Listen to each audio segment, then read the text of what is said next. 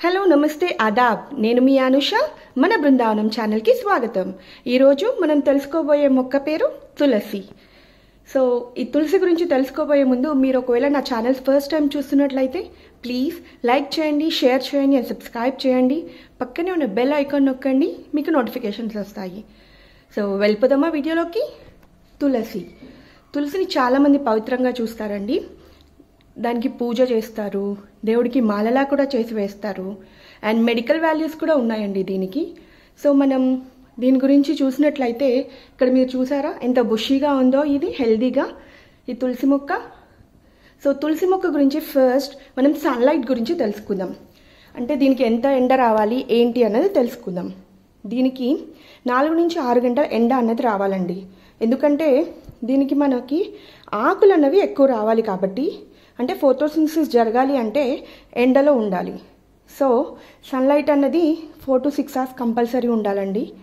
And తర్వాత watering విషయానికి వస్తే వాటర్ అన్నది మీరు ఎప్పుడు అంటే మట్టి అన్నది మీరు చూసినట్లయితే బాగా పొడి పొడిగాను ఉండకూడదు అలా అని తడిగా కూడా ఉండకూడదండి. అంటే దీనికి రెగ్యులర్గా వాటరింగ్ అన్నది చేస్తూ ఉండాలి. సో ఓవర్ వాటరింగ్ చేసినా సరే మొక్క అన్నది చనిపోవటానికి ఛాన్సెస్ ఉంటాయి. సో మీరు ఇక్కడ చూడాల్సింది ఏంటంటే రెగ్యులర్గా వాటరింగ్ అనేది చేసుకోవాలి. దానికి ఉన్న మట్టి బాగా ఎండకుండా చూసుకోండి బాగా చెమ్మ కూడా ఉండకుండా చూసుకోవాలి. రెగ్యులర్గా ఇంటర్వెల్ టైం ఒక ఒక టైం పీరియడ్ పెట్టుకొని పొద్దున్న లేకపోతే ఈవినింగ్ అనేది టైం పీరియడ్ పెట్టుకొని దాన్ని బట్టి చేసుకోండి. వాటరింగ్ అనేది ఎక్కువ పోయటం వల్ల రూట్స్ అన్నవి లోపల కుళ్ళిపోతాయండి. అందుకే చాలామంది అంటూ ఉంటారు తులసమ్మని పెట్టాను బట్ ఎండిపోతుంది సరిగ్గా ఉండట్లేదు అని. సో అది మెయిన్ మనకి సాయిల్ ప్రాబ్లం వల్ల కావచ్చు వాటర్ ప్రాబ్లం వల్ల కావచ్చు. సో నేను చెప్పినట్టు మీరు సాయిల్ అండ్ వాటర్ చూసుకొని దాని ప్రకారం మీరు ఫాలో అవ్వండి. దీనికి ఫర్టిలైజర్ ఫర్టిలైజేషన్ ప్ర విధానం చూసినట్టయితే దీనికి ఎరువు ఏమై ఏమైతే ఇవ్వాలి అంటే మీరు కౌడంగ్ మాన్యూర్ ఇవ్వచ్చు అంటే ఆవు యొక్క మాన్యూర్ అనేది ఇవ్వచ్చు లేదా గేదెకు సంబంధించినవి ఇవ్వచ్చు. అండ్ వర్మి కంపోస్ట్ అన్నది చెత్తతో చేస్తాం కాబట్టి కిచెన్ వేస్ట్తో మీకు ఇవ్వాలి అనుకుంటే ఇవ్వచ్చు అండి లేకపోతే లేదు. ఎందుకంటే మనం కొంతమంది పూజిస్తారు బాగా మనం పూజిస్తాం కాబట్టి. సో అది వేయాలా లేదా అనేది అది మీ ఇష్టానికే వదిలేస్తున్నానండి. అండ్ ప్రాపగేషన్ విషయానికి వస్తే మీకు ఇక్కడ కనిపిస్తున్నాయండి ఇవి విత్తనాలు. ఇవన్నీ విత్తనాలండి. కింద మీకు పడుతున్నాయి చూసారండి? ఇవన్నీ విత్తనాలు. సో ఈ విత్తనాలు కింద పడిన ఆటోమేటిక్గా ఒక ప్లాంట్ నుంచి చాలా ప్లాంట్స్ వచ్చేస్తాయండి. ఈ విత్తనాలు యూస్ చేసుకొని మీరు ప్రాపగేట్ చేసుకోవచ్చు. ఈజీగా ప్రాపగేట్ అవుతుందండి ఇంకొకటి ప్రూనింగ్ విషయానికి వస్తే మీరు ప్రూనింగ్ అన్నది ఎప్పటికప్పుడు ఇట్లా ఫ్లవర్స్ ఇట్లా ఫామ్ అయిన తర్వాత ఇవి ప్రూన్ చేసేస్తూ ఉంటే మీకు ఇంకా ఎక్కువ లీవ్స్ వచ్చే ఛాన్సెస్ ఉంటాయండి. సో దాని ప్రకారం మీరు చేసుకుంటా ఉండండి.